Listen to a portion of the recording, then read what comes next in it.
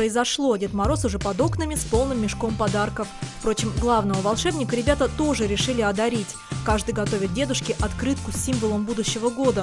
Уж дети точно знают, какой он должен быть.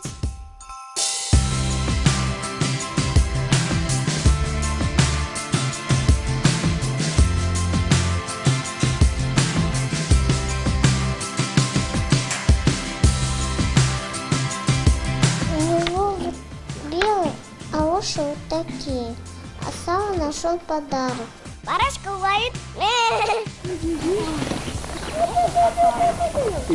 В живом уголке этнографического музея дамское общество. Баранов здесь всего два, остальные – овцы и козы. Несмотря на то, что утром и вечером они получают свою порцию овса и отрубей, не прочь полакомиться угощением.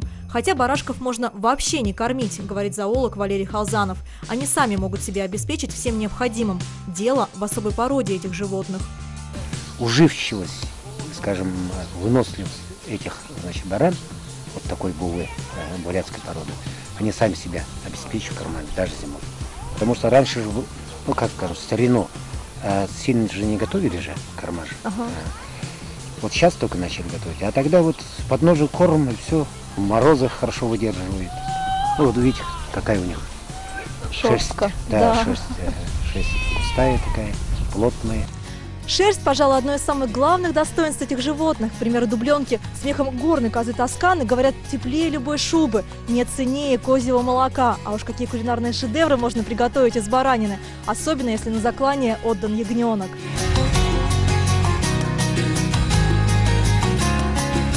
Блюдо из ягненка особо ценится у гурманов. Это настоящий деликатес, совсем без запаха и очень нежное. Такое мясо можно есть ложкой, говорят кулинары.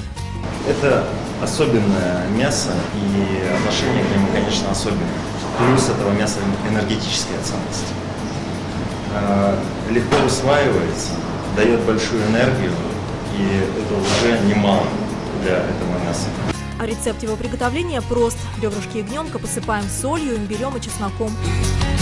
Отправляем на сковородку. Обжариваем также овощи. Когда все готово, украшаем блюдо сливочным маслом, смешанным с зеленью. Минимум усилий, максимум вкуса. С Новым годом! Поздравляю вас, поздравляю дорогих зрителей, удачи, всем здоровья, благополучия в семьях и в работе.